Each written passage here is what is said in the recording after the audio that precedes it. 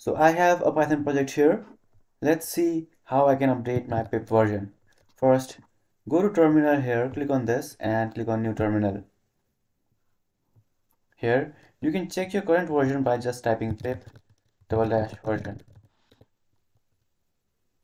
As you can see, I'm on pip 23.3.2. To update pip version, you just type this command pip install double dash upgrade and here you type pip so this command will update your pip version. Let's see what happens. As you can see i'm getting this error that's saying to modify pip version please run the following command. So what you can do is you can just copy this command here right?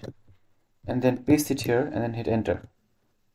So as you can see the current version is uninstalled a newer version is installed. So this is how you can update pip. Now let's see if it is actually updated and let's check the version. So the command is pip install sorry pip double dash version. So as you can see now i'm on 20, 24.0 so this is how you can update pip version in vs code. If you have any questions let me know in the comments below